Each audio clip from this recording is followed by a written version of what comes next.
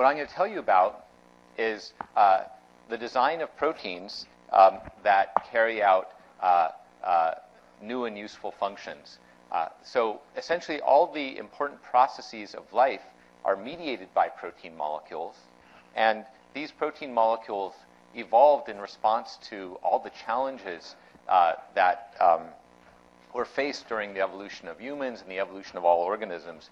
And the more you understand about biology, the more you realize how amazingly well uh, proteins, the proteins that exist in nature, uh, solve these problems.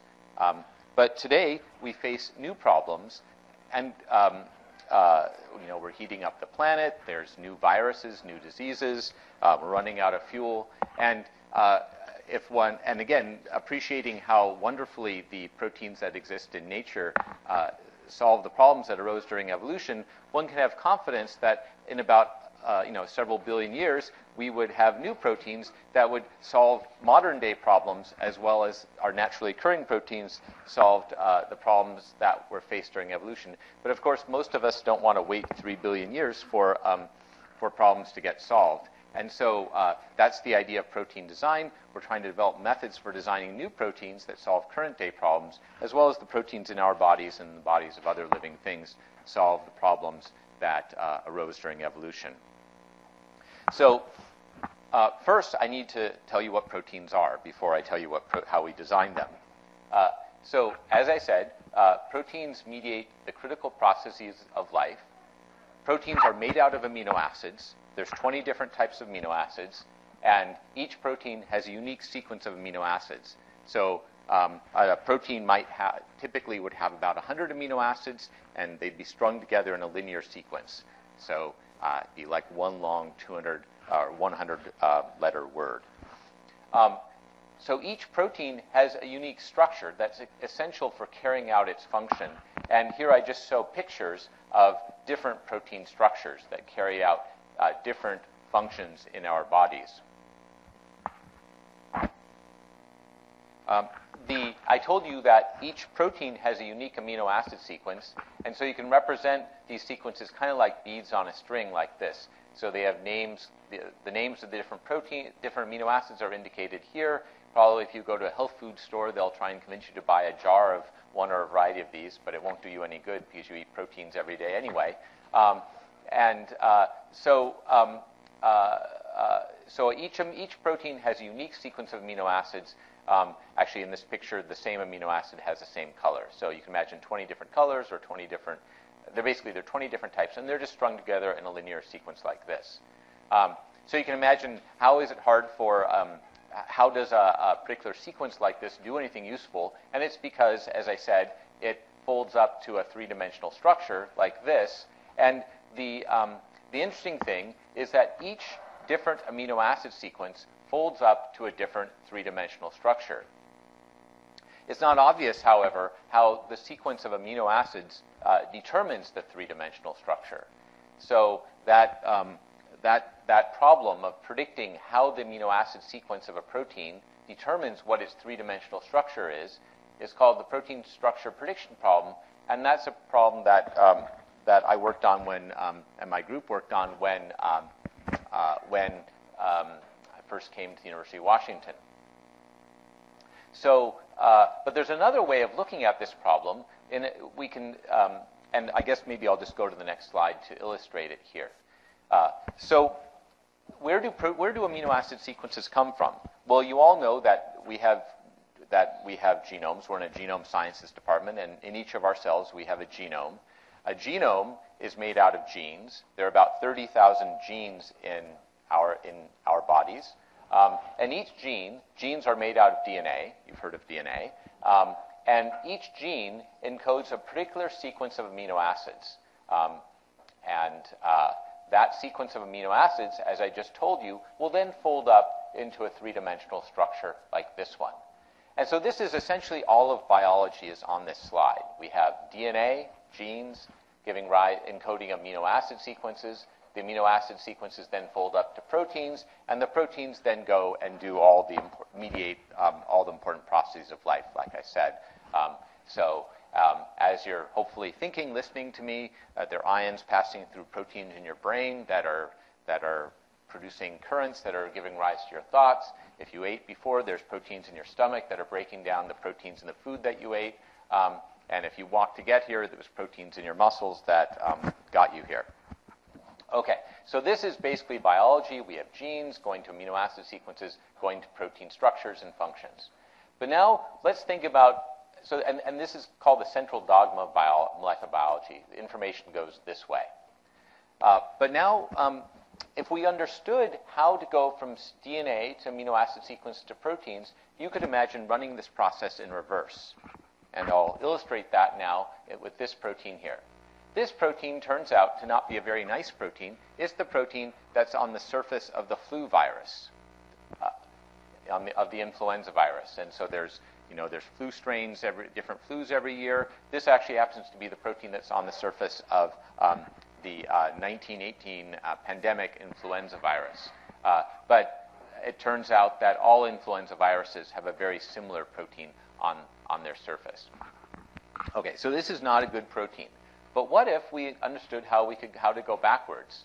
Uh, then you could imagine um, designing a brand new protein that doesn't exist in nature, this little red thing here, and you could design it if you knew what you were doing in such a way that would stick very, very tightly to this flu protein, and if it stuck tightly enough, it might prevent the flu virus from getting into our cells.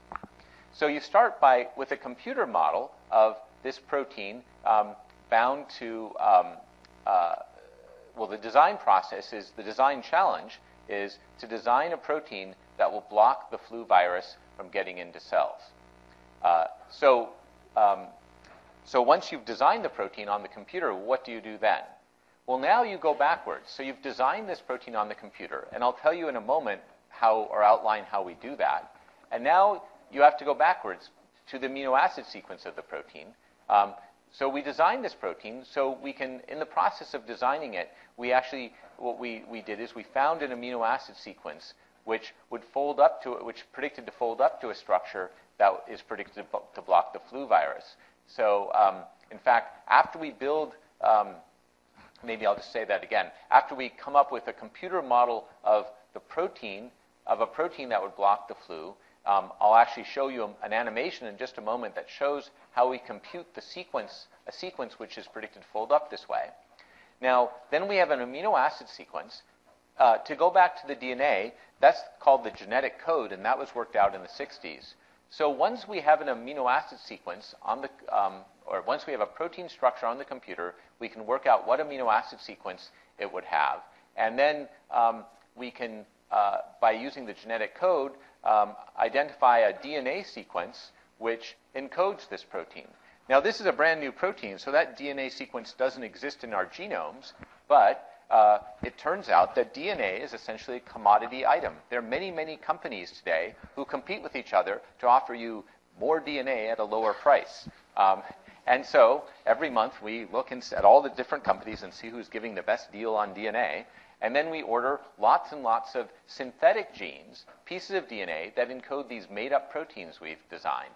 So after we have the amino acid sequence, um, essentially, I just did this the other day with proteins I'm designing. We take that amino acid sequence, we put it into an email, and we send it to the company that's giving the best prices that that um, uh, that uh, day. And we can now do this for. Um, it costs about uh, 50 cents per amino acid, so it's getting cheaper and cheaper. So now, once we have the DNA, this artificial gene, it's not a gene in our genomes, but a gene that encodes this protein, uh, we put the gene into bacteria, and the bacteria make lots and lots of the protein, and then we uh, can get the, then we, uh, uh after we've grown up the bacteria, we can uh, break them open, and the protein pops out, and then we can see whether in fact blocks the flu, vi- flu virus. And that's basically what we do for every problem I'm going to tell you about today. Now, why is um, you might think, well, there's all, there's so many organisms in nature, and you know we have 30,000 proteins. There are, you know, there's so, there's like millions of different organisms. What's the point of designing new sequences? Well, it's useful to consider the number of different amino proteins that could exist.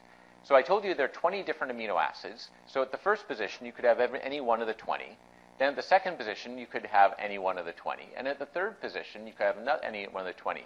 So the number of uh, number of different protein sequences is 20 times 20 times 20 on to the number of amino acids in the protein. And proteins, as I told you, typically have um, 100 to 200 amino acids. So the number of amino acid sequences, which is the number of different proteins um, which are possible, is 20 times 20 times 20, 200 times, which Ella can tell you is a very big number. Um, so um, nature has only explored prob- um, a tiny, tiny fraction of that. So maybe nature has explored 10 to the 10th sequences at most, and the number of possible sequences is something like 10 to the 200th. So nature really hasn't gotten anywhere in exploring what's out there. And that's what our that's what we get to do. We get to we get to try and find things that don't exist and then make them and see what they do.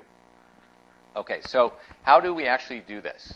Um, so this is this is what we do when we're designing proteins. We start with a computer calculation of a sequence which is predicted to fold up to have uh, to make a protein with a structure that we want or a function that we want, like blocking the flu virus.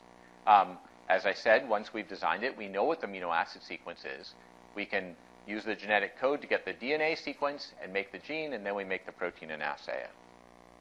Okay, so now I'm going to explain to you a little bit about how we design the protein, design proteins. And the concept I have to explain is that um, the way that an amino acid sequence determines a three-dimensional structure is that the amino acids, the, the, the structure that the protein folds to is the lowest energy structure for that amino acid.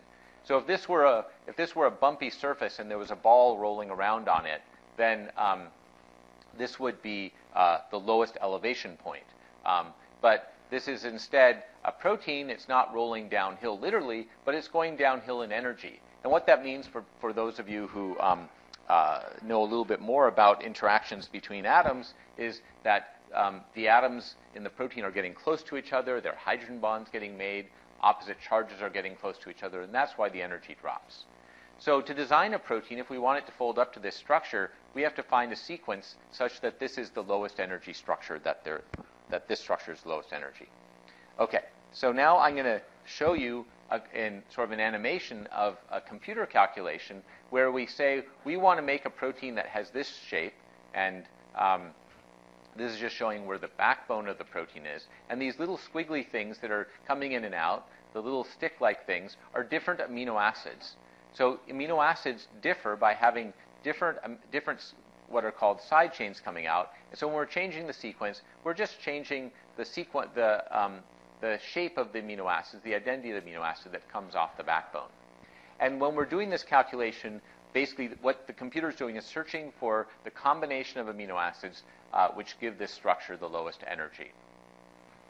Okay, and so, um, but one thing you can see here is that uh, we kept um, the, the, protein was kept fixed. We didn't really change its overall shape at all. We just changed what the amino acids are. Um, so this will give us an amino acid sequence, which is very low in energy in the structure, but there might be some other completely different structure which is lower in energy for that same sequence. So once we have that sequence, uh, we do a second calculation where we keep that sequence fixed, but now we search through all possible through a very large number of possible conformations uh, for this sequence, different shapes of the protein, looking for what the lowest energy shape is for that sequence. And what we are looking for is sequences that have the property that when you search through this very, very large space of possible conformations, the lowest energy one is the one that we want. And that's basically how we do protein design. So now, the rest of my talk, I'm going to give you examples. So the very simplest problem you might think of is, is sort of what I was outlined in that those two movies. Can we simply make a sequence um, which uh, will fold up to a new structure that's not found in nature? Now, proteins in nature, because they evolved, are essentially all accidental. They have each one has kind of idiosyncratic features because nature never really cared about elegance. Nature just wanted to get something that worked.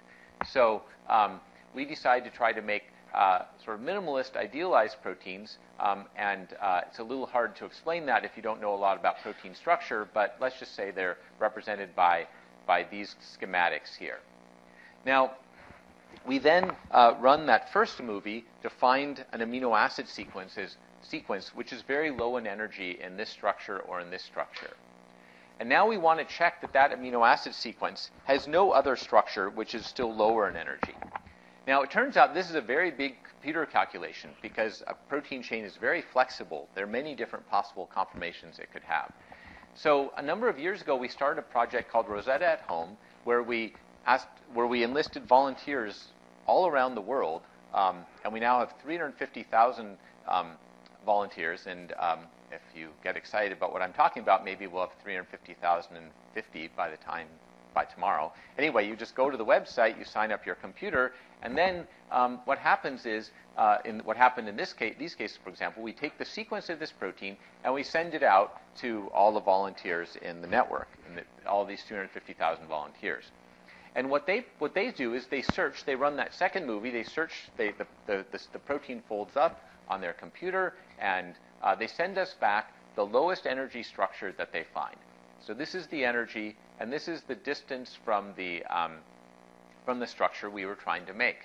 So some people are unlucky, and the lowest energy structure they find, I should say each red dot is a different person's contribution.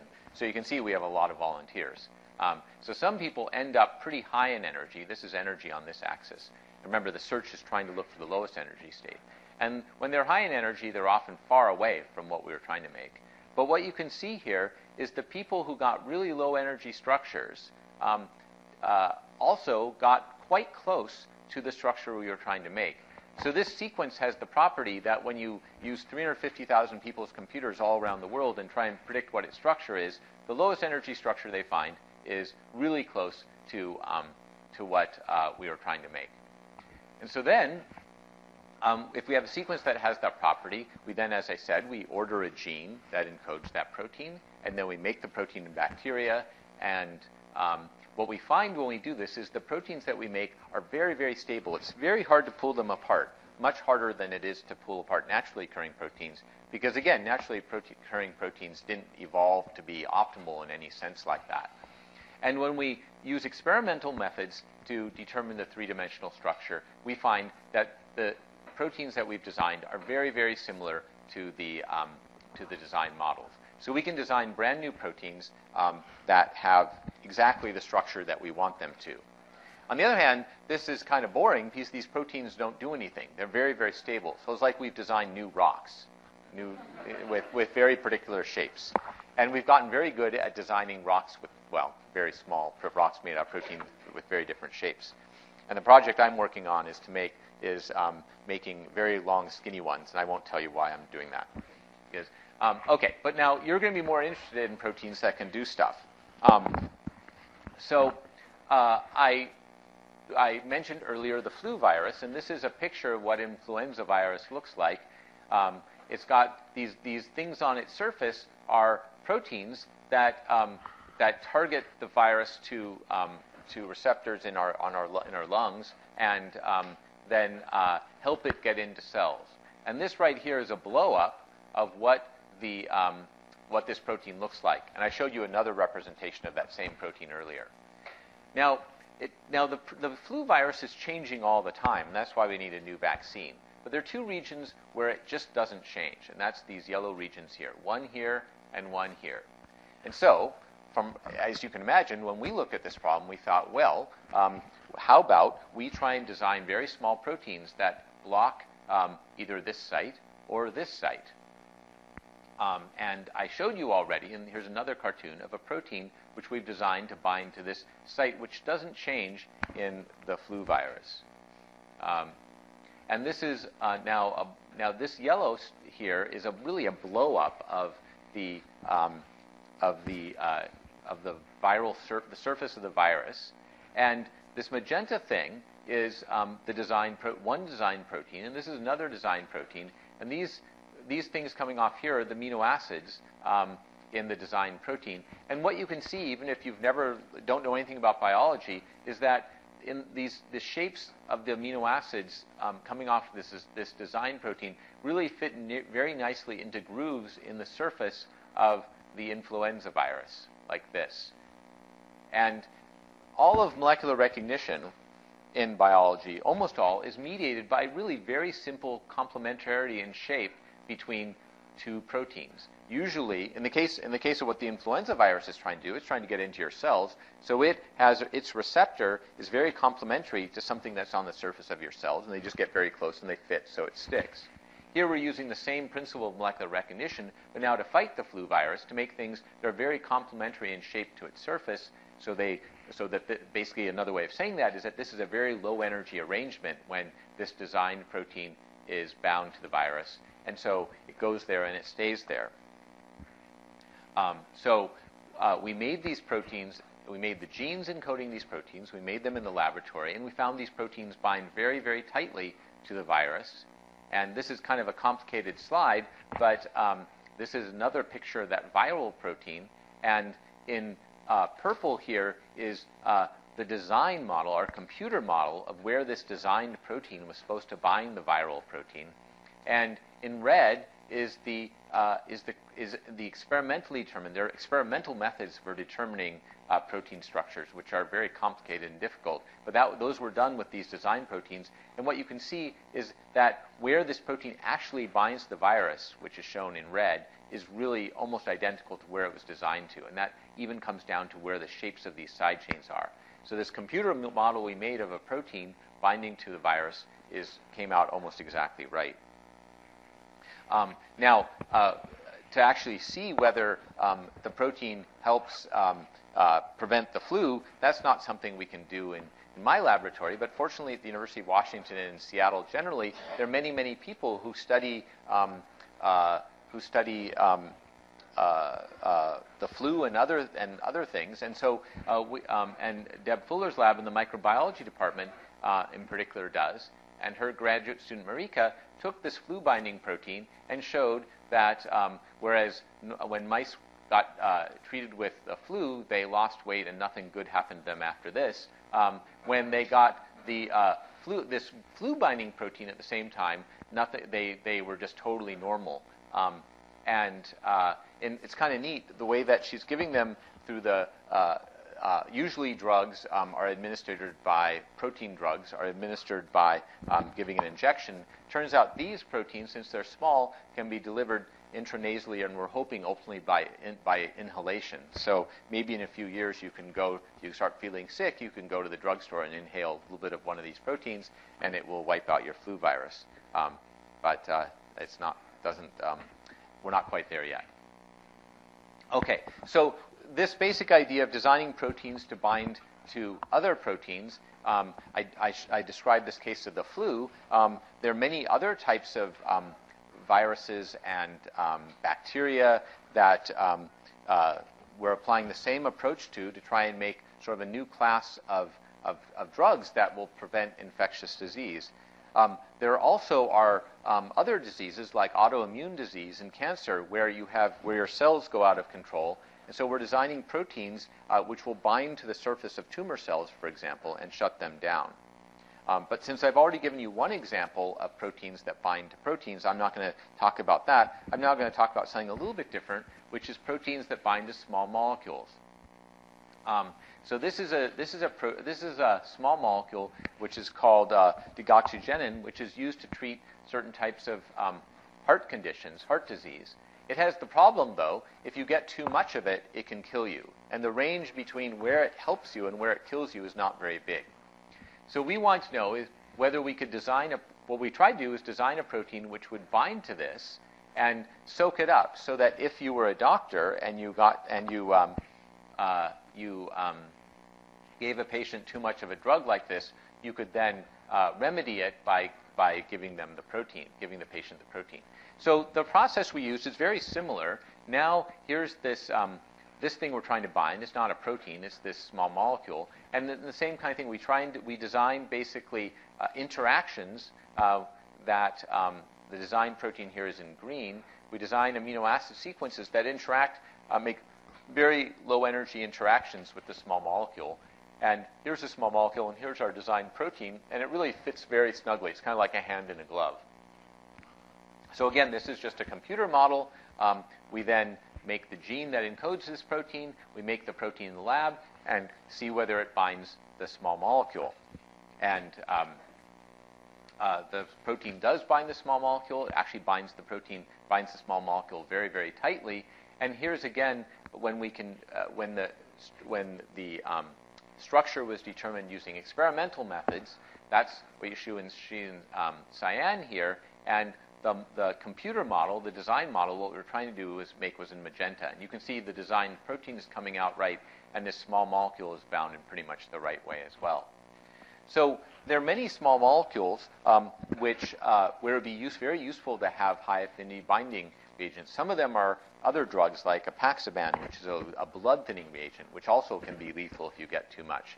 The, there are other compounds where you'd really like to be able to detect them to know that they're there. So um, things like uh, hormones that are associated with uh, stressful conditions, or um, or um, uh, one of the compounds we're trying to go make where we have binders to now is called artemisinin, which is a very promising malaria anti-malaria drug. But it turns out there's a big problem with counterfeit uh, artemisinin in the world today because people sell, you know, if you're buying it, you don't know what you're getting. So we've got a protein now that binds quite tightly to artemisinin. We think that could be help used to uh, validate um, uh, the um, uh, whether what you're actually getting is the right thing. And sort of on a similar vein, Washington State has asked us to design a protein which binds to THC, which is the active ingredient in marijuana for obvious reasons. Um, so, um, so anyway, so there's a lot of different, both for um, uh, for sensors and for um, for what what I sort of generally call therapeutic sponges, binding up toxic compounds. Also, pesticides. We're design we've designed proteins which bind to uh, toxic compounds and can soak them up and detect if they're present. Um, but I won't talk any more about that since I already gave you an example, this one example. Um, the next thing I want to describe to you is the design of materials. Now, you might, um, so why are we interested in materials? Well, um, some common things that you're used to, like silk and wool, are made out of proteins. Other, other things that you're familiar with, for example, the shells of oysters and abalone and clams, are made out of, um, are, and essentially all materials that, all all things that all materials that occur in nature are not made out of protein per se, but they're organized by proteins. So if we could figure out how to make um, uh, to take the types of you imagine all you can think about all the sort of exotic materials you have in nature, ranging from shells to silk elephant tusks. If you could figure out how to make those things synthetically, there you could imagine a whole new generation of types of, of materials and products we could have around us. So I'm going to tell you about how we're going about that. So in a material, um, it's not just one protein typically, it's many proteins interacting together. And so first I'm going to describe a material that's made out of, um, that's rather than a continuous thing, it's, it's a closed, um, closed cage. Um, so um, here we're taking two proteins, a green protein and a blue protein, and figuring out how to fit them together so they make this very, um, uh, this, this closed structure here. And um, Again, we can find the way we make these proteins stick together is we design a, a set of amino, we design the amino acids at the interface between the blue and the green protein so they stick together. Um, I'm not sure how well you can see this, but when we make these two proteins in bacteria and we break the bacteria open, um, what, when we look in an electron microscope, what we see are um, this is the computer model of what we were trying to make. And what we see are these things that look like little shredded wheats. They look very, this one's actually a pinwheel more.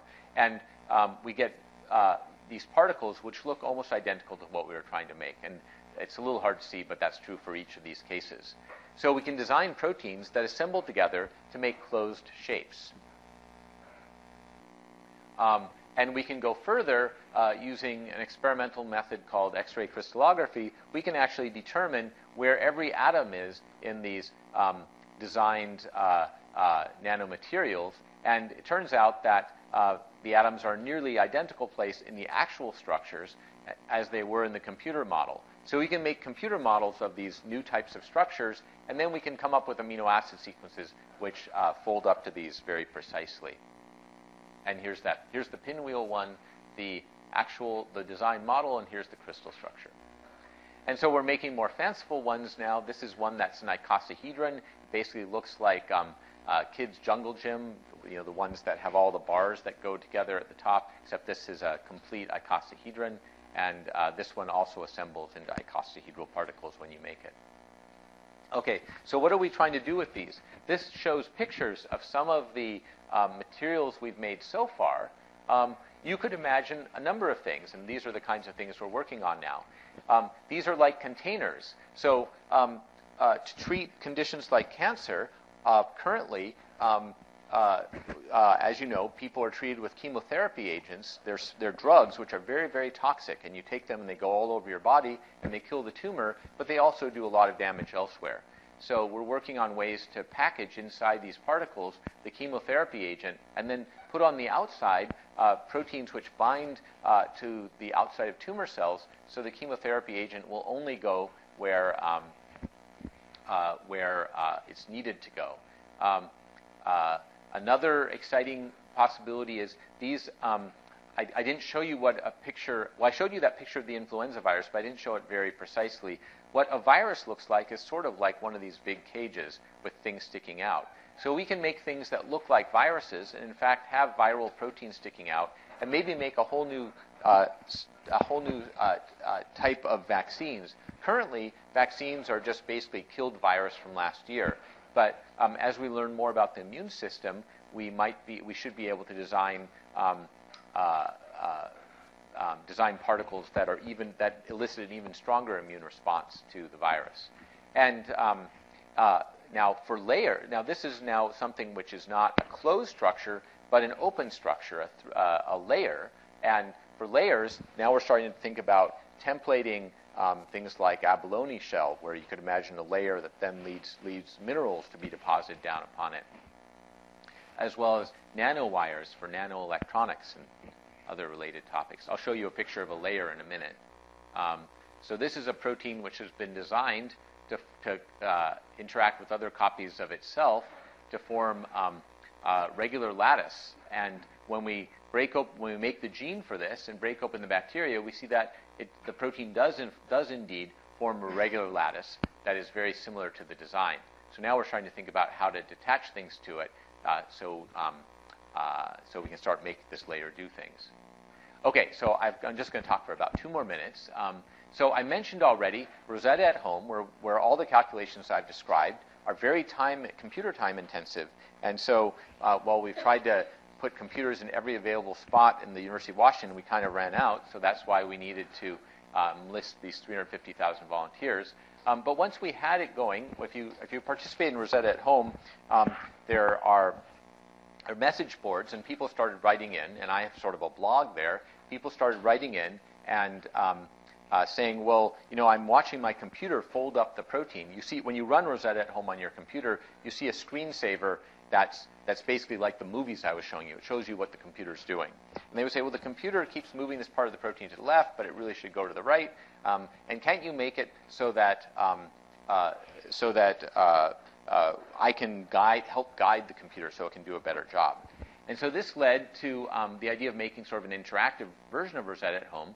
So we teamed up with the uh, people in the computer science department here and developed an interactive game called Foldit.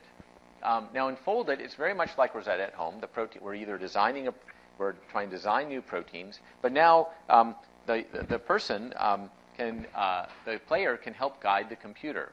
And so this is what uh, Foldit looks like. And again, if you just go, if you just Google Foldit, you can install it on your computer, and it gives you um, a set of tools which are basically the operations I've already described, like uh, like let the, protein fold up. Um, but you can also go in and you can pull and push things around and fold up the protein on your own. And so good Foldit players know how to go back and forth between um, sort of moving things by using their intuition and then using uh, these various tools. Um, and uh, so this was actually an interesting one. We called this was a protein um, which no one knew the structure of, but was a, a monkey virus protein. So we called this an unsolved monkey virus protein puzzle. And it turned out the Foldit players actually managed to solve, determine what the structure of this was, which was very exciting. Um, and, uh, um, and they've actually solved a number of different problems, including um, uh, designing. Uh, I, I, didn't talk about one of the things we work on is designing catalysts for chemical reactions which don't currently have catalysts. A catalyst are, are, is something that makes a chemical reaction go faster. Um, and Foldit players have improved some of the designs we've made. Um, but rather than tell you about that, I thought I'd. Uh, people always ask me, well, who are these Foldit players? And I thought I'd let them speak for themselves. A really good Foldit player, I think, needs a number of skills. Problem solving is obviously one of them. I think a slightly addictive personality, um, a little bit of stubbornness thrown in, and a little bit of luck on top. You don't necessarily need to have a scientific background to play, you just need to know what works and what doesn't. And you can learn that within the game itself. I'm an administrative worker in the rehab team. I'm, I'm just answering telephones, uh, working on uh, bespoke computer programs, interacting with staff. It's very repetitive. When I go home, I become a different person. I just like to measure myself against something, and it's given me something that my everyday life hasn't given me. It's, it's to just use abilities I didn't know I had. For me, it's a guilty pleasure, and yet here I am involved in something that has real relevance in the scientific world. It makes you feel very proud of what you do, which is essentially a, a little hobby. He's much more professorial than I think I will ever be. So. Um, so these were actually the two of the top Foldit players in London, which is where the video was made. And uh, so they asked us where, you know, for the names of Foldit players in, in London where they were making it. Okay, so I'm pretty much done. We've started, um, we started an institute for protein design at the University of Washington to try and really uh, fulfill this vision of designing proteins to address modern day problems. And um, these are the, the, different areas that uh, we're working on. Um, uh, uh, trying to make improved uh, therapeutics, both improved drugs to treat infectious disease as well as um, conditions like cancer. Um, I mentioned diagnostics, detecting toxic compounds in the environment, improved vaccines. Um, uh, we're working on new ways of, of, of, fixing carbon dioxide and making fuels. Um, I talked a little bit about targeted drug delivery, and um, uh, um, and I mentioned uh, new materials. These are all areas that we're working on. And somewhere here, I think I have some more information on it, or you can look it up on the web if you're interested. Now, I didn't really do any of this myself. Um, I'm very lucky to be working with um, some really fantastic um, coworkers, uh, graduate students, and postdoctoral fellows. And um, I won't go through uh, everyone's name on this slide, but these are the people who did the work on the um, on the design of the different uh, uh, proteins I described. And uh, again, I'm sorry about starting late, and uh, I'll be around for a bit if you want to, are happy to take questions now first and talk to people in person afterwards.